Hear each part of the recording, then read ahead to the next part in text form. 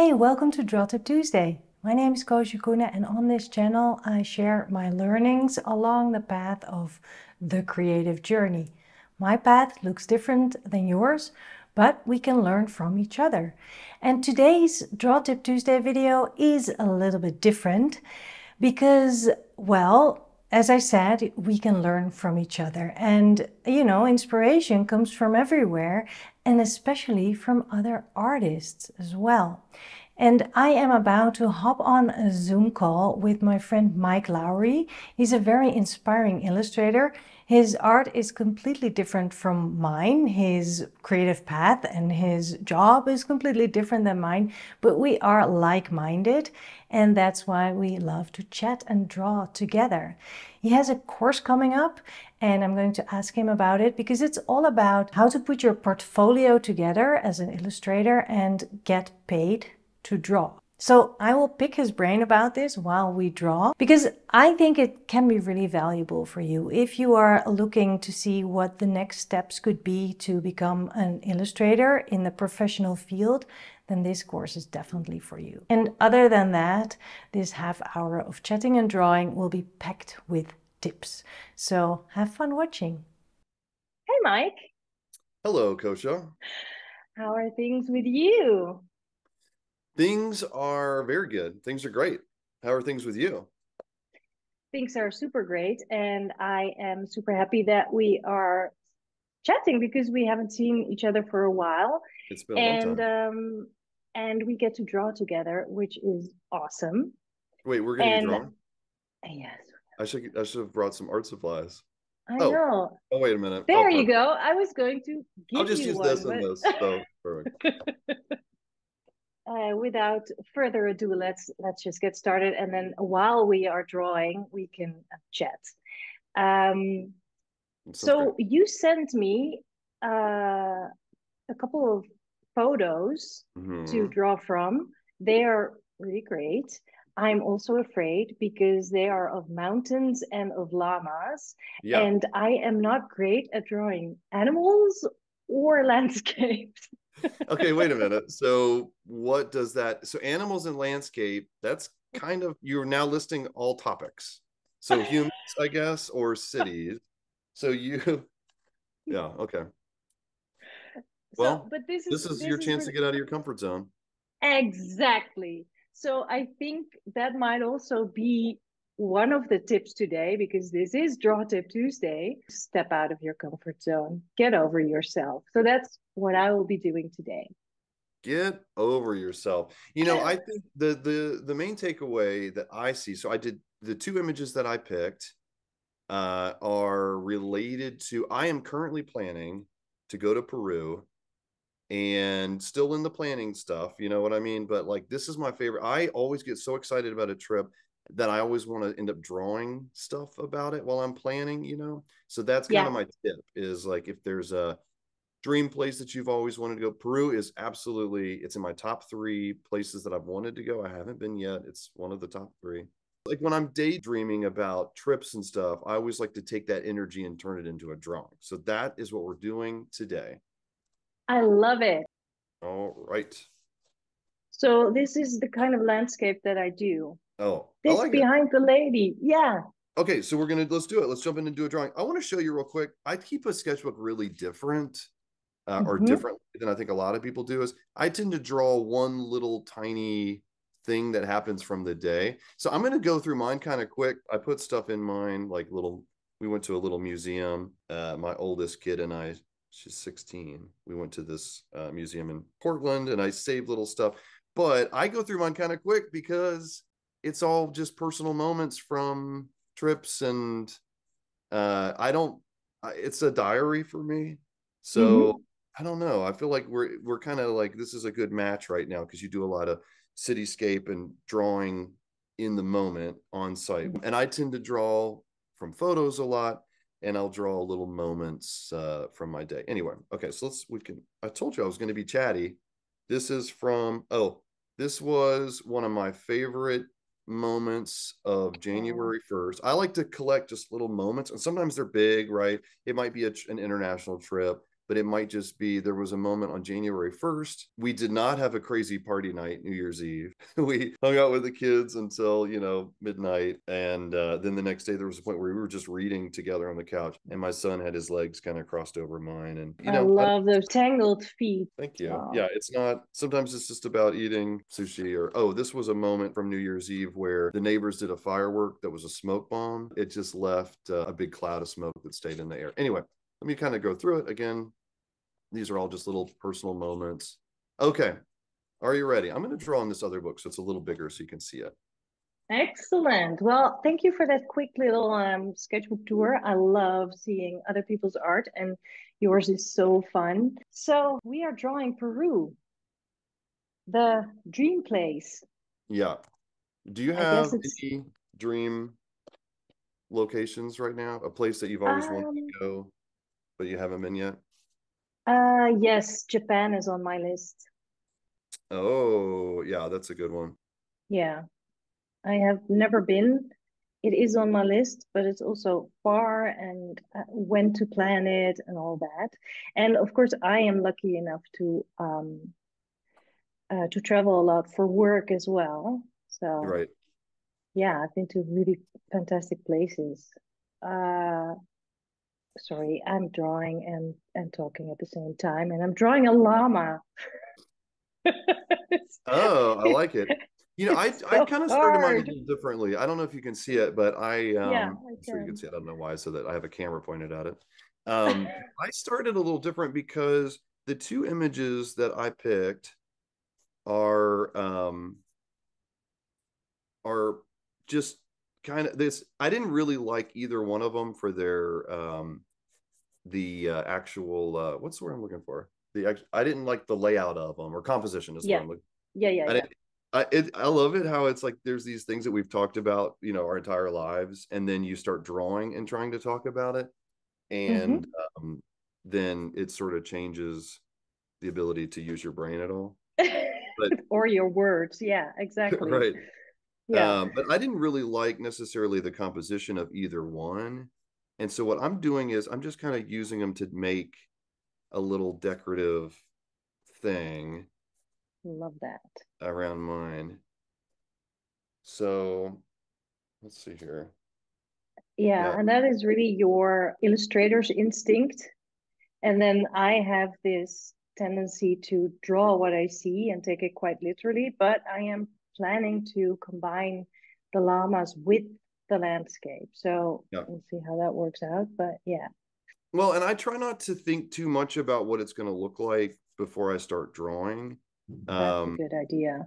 And I do actually go straight to ink a lot in my sketchbook. It's another mm-hmm. one of the reasons why I just went really quickly and showed you my sketchbook because a lot of it's not really my sketchbook is not an every single day I'm, you know, using it to make something to post on Instagram or whatever. Right. My sketchbook is something that I it's my diary. So there's some personal stuff yeah. in there. And okay. I'd make a lot of mistakes and everything. Anyway, okay. Um, so while we draw, I do want to talk about this thing, this big project that I have been working. Yes. And you are aware of it. Mm-hmm. And, and that is I'm going to tell you a little background story here, which is that when I was in school, we learned a ton about making art, like what we do on a channel like this. But I didn't really know how to make a living with my art. And so right. I started teaching some classes that you are familiar with. I want to make sure that your group knows about it, mm-hmm. where I break down that line between you know actually making art and then getting paid to make art yes and, and that is kind of what you are actually doing is kind of revealing something that seems secret or unknown or highly impossible for many people right? Oh i think it seems highly impossible and i think that there's a lot of people i mean myself included when i was getting started it seemed like there it was all about some connection thing or yeah. even worse i think that there are a lot of people that think that making a living with your art means only getting good at making art and that eventually i don't know that somebody would just reach out to you i, I really genuinely thought that mm-hmm. that that you just make art and then if i wasn't getting opportunities it's because you know people weren't reaching out to me and saying like hey do you want to illustrate for this magazine or something right. like that and what right. i learned was that's then not it i mean of course that's not how it works right mm-hmm. people have to know about your work you have to have good work in your portfolio uh, to get those kind of projects anyway so when I was starting out, I didn't know any of that stuff. I didn't really know what a portfolio was. I didn't know what options there were in the world of illustration. And I'm going to tell you what happened was so I used to teach. I taught at the Savannah College of Art and Design. I taught at other art illustration programs. And I left maybe six or seven years ago and I was really missing the teaching part. So I started putting together a list of some of these things that I had kind of learned. I, am sure you get them too, where students, when they're graduating, will say, I have a couple of questions about, you know, keeping a mm-hmm. sketchbook mm-hmm. or something like that. Sure, yeah. Started putting all that stuff together, and I ended up realizing it was a lot of information. and so, yeah, so now I teach this uh, this class once a year. That's all about uh, just how to build a portfolio that gets assignments and how to get your work actually in front of art directors. Yeah, that's fantastic. And even, I mean, the title of the workshop is just perfect getting paid to draw. I mean, that's what it's all about, right? It's pretty direct, huh? Yeah, it's funny. It is. When I, was, when I was thinking of what the title could be, I, you know, I was playing around with some not not poetic, but something that wasn't nearly as direct. And I realized I mm-hmm. was like, no, I and I think that the only reason I was not going direct initially is because I do think there's this weird thing. So I went to school for fine art yeah. and for drawing and for graphic design. And it's funny, especially in the world of fine art, there's just this weird stigma with combining art and making a living with it where yeah it making it your business gross or something or yeah um and i actually did have this is a story that i've told a bunch but it's true i really did have a teacher when i was in grad school that said to me uh you know not to ever think about money and art together that it like cheapens art and i was mm. like well then how am I going to make a living? You know, I wanted, yeah. I wanted to make a living making art. And um, so I don't know, I just really powered through and was like, I'm going to try and break down some of this, this weird negative idea that you aren't really allowed to make, you know, it's like kind of perpetuating this idea of like a starving artist. You know what I mean? Right, right, right. And I don't know yeah. where that comes from. I don't know why people think that that's like some celebrated thing because it's not. I like eating, you know? like yeah. getting clothes for my kids.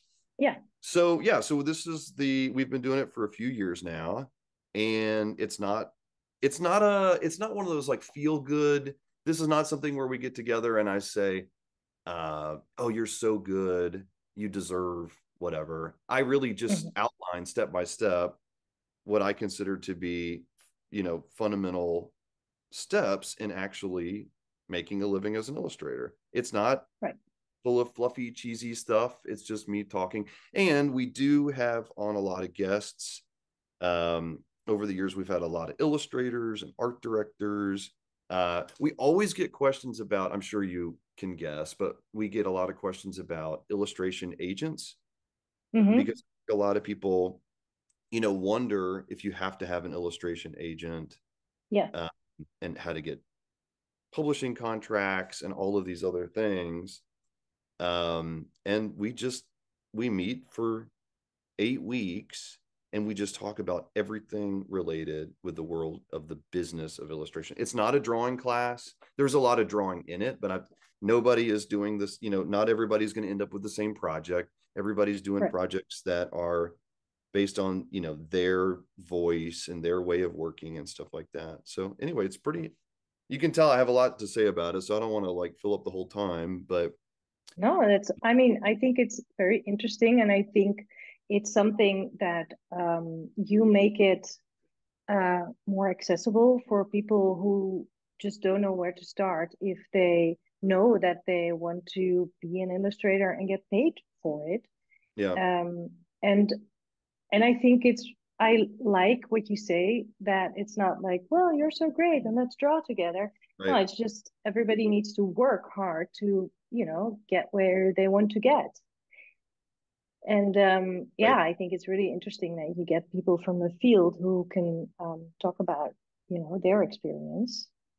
That's just right, and the experiences are very different. You know, you and I both, we are artists. We make a living as artists. Yeah. Our, our experience, our and our way of getting here has been so different. Oh yeah. And I think that that's a really interesting thing that I like, and I really wasn't exposed to that coming out of school.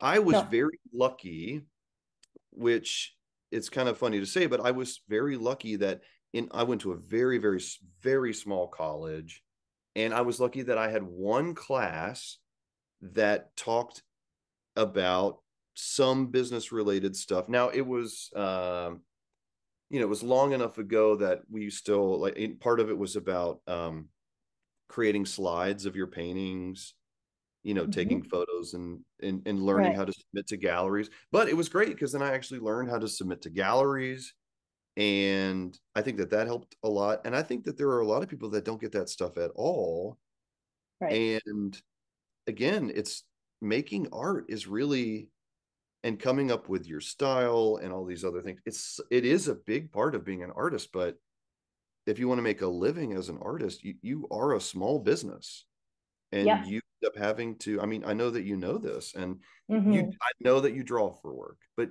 it's just a part of what you do, right? I mean, how it many absolutely is. Are you? I just on? yeah. Um, I just had a meeting with a friend, and we were talking about this. Also, she has a different kind of job, but also uh, part of it is creativity. And uh, I was like, well, some people think that I am drawing all day. like yeah. that is so far from the truth. right just, and i think yeah. but, it, but, it, takes a lot to figure that out right and yeah, um, does. i'm realizing with my drawing right now which i think we're doing pretty good talking and drawing we uh, are yeah well you i i was just listening so that i was lucky um i'm realizing that i so a lot of times i go straight to ink but i realized with yeah. this one my my plan was to do the drawing and then erase it but there's no way I'll, I'll have to wait an hour or two before this is really fully dried where i can actually oh yeah. So i think that when we're done i'm going to send you this one uh, so that everybody can see the final art. Yeah that would be um, great. but uh, yeah i think that it's interesting and it, it's funny because in any time that i'm working so i have to do a lot of writing for my job. So i i make mm-hmm kids books and I write books for adults and also and I do a lot of you know information you know about this course and stuff like that. So a lot of what I do involves writing and I feel like every time I'm in a really heavy writing phase, I always wish that I was just drawing all the time. Yeah. And, and I finished a project the other day and it was a a chapter book. So it's a, a kid's book, but it's for older kids. And ah, yeah. I finished um, some pages for that, and it was I it was a 212 illustrations. Oh wow! In one okay. book, and so then I was like, all I want to be doing is writing right now. You know, like yeah. there's never a moment where you're you're just never happy. No, but I just think it's funny. But you know, as you know, a lot of it is I have to reach out to clients, and honestly, I really like that part of it too. Yeah. I like the part where I'm I love making a book pitch. Okay, that's something oh that Oh my I, goodness. I love it. And I and one of my favorite things to do is to be in the room and actually pitch a book because right. it's something that I've worked on, it's something that I'm excited about. I get to see their reactions. You know, that's changed a lot, of course. Mm mm-hmm. um, over the last couple of years. Of course, now a lot of that stuff is digital, or you know, not digital, yeah. but over Zoom. Um, yeah. which I don't want to complain too much about because that's what we're doing right now. But careful. Uh, the next one, we'll just meet up. We're going to meet up in person for the next one, right? I think that's a good idea. Let's do that. Uh, I know you're in the Netherlands. What city are you in? I am in Amersfoort, which is uh, a 35 minute train ride from Amsterdam. Oh, okay. It's like in the in the center of the Netherlands. Oh, It's a okay. small small city, small much smaller town than um than Amsterdam and quieter. And I am at the at the edge of town, so I have a lot of nature around. Oh, I love it. That's great. that's why I moved from Amsterdam to here. Yeah. What if I um was like, uh, what part? And you were like near Amsterdam, and I was like, I'm not familiar. What is Amsterdam? Um, the there's this thing that happens with uh with my wife where a lot a lot of times when people from the US find out that she's from Germany, I, I don't know why this is a natural reaction, but people will say, Oh, Germany, what part? and Ah, then she yeah. always gives like the closest big city, which is Hanover, and they're like, Yeah. we don't know where that is. And then I'll say, Tell okay, me well, if it yeah. do you know where Berlin is? And they're like, well, not really. So Yeah. like, oh, what did you say? What part? Why even ask? Is it because is it like this old idea that Germany was divided between East and West or something? Oh, yeah, maybe. Maybe they're just wanting her to say uh West, West Germany. Yeah, that's very interesting. Yeah, it happens a lot. And I'm sure you can imagine, but there's a lot of people that'll say, Oh, you know, I'm 187th German or whatever. Yeah, for sure. Uh, I guess I probably um, have some German in me. I don't know. But anyway, Well, I think I'm getting kind of close here. I think I, again, I would, I would sort of like to, um, I would sort of like to erase this, but I don't think I'm going to be able to erase this in front of you. Um, uh, don't take that risk. I know you, can you see here that I already, Yeah, I already, There's a little I always smudge my ink. It's just terrible. so here's the draw tip from me. I'm going to talk for a second while you do this. My drawing tip is I like to take images from places that I'm going, you know, before the trip and smash them together and turn them into something else. This does not look like the reference photos. And then something else that I like to do, and this just sounds like really nuts and boltsy or whatever. This isn't as inspirational, I think. Uh, when I'm done, I always take a picture of the line art before I I like to use ink wash. So I see that you're using actual watercolor, and I Mhm. always in my sketchbook is always ink wash, which is just ink mixed with uh water. So Water, yeah. Mixed with water, and I get this ink wash. And uh, I almost never do color in my sketchbook because I am a big believer in like just packing light. Uh, maybe if I went on a longer trip, I'm gonna have um, some other materials with me, but I only carry ink wash. Before I do that ink wash, I do tend to take a really good high res photo with my phone Mm. in case I ever, you know, here's a good example of one that I might color this digitally later. So it's in my sketchbook, but I could still use it for something. Maybe. Yeah. I don't know. Maybe I would make a print of it, maybe uh, a sticker of it or something like that. That's really smart to just make sure that you have it. The smartphone cameras are so good that it's worth, you know, just documenting the process while you're working. Is this also some of the things, um, you know, making it easier on yourself? Is that something that also is addressed in your course? the goal with the class initially was just to put everything step by step together uh, into figuring out how to submit artwork. And what I realized was, again, it's not a drawing class, it's not a Photoshop class, it's not a Procreate class where you learn a program. It's much Right. more about how to build projects. And so I thought that would be the main goal, and it it is Mhm. kind of goal. But then what happened is I get so many good questions while I'm doing this class that I always end up answering. So, like for example, somebody asked a question uh, last year that I thought was really good, and so we just talked about that, which was just you know how many pieces should you have in a portfolio before you start sending artwork out. So when I was in school, we learned you know you need I don't know somewhere between twelve and twenty four pieces, something like that, and it's just it's not the case anymore. You could absolutely get an illustration assignment having maybe four pieces in your portfolio as long as those pieces are really dedicated and targeting the client that you're trying to reach out to. So that is really on target with, you know, the kind of big topic, but little questions would come up a lot too. I mean, I'm, I know you're not surprised by this, but I get a lot of questions about the kind of art supplies that I use. Yep. And so again, I do a lot of drawing in the class. You have to do a lot of drawing in the class. Uh, but I'm not teaching a specific technique. But again, if people bring up questions like what pins are the best if you're going to use any kind of wet media, I'm not mm-hmm. going to say uh, uh, we're not talking about that, you know. um, and forbidden. We, yeah, so I just talk about whatever, and and uh, and we have these kind of structured meetups where we can actually talk about that stuff. And somebody asked last year, and so I'm going to bring it back up again this year, just about which website uh, platforms I think are the best for hosting your portfolio. Oh, right. That's a good um, question. Yeah.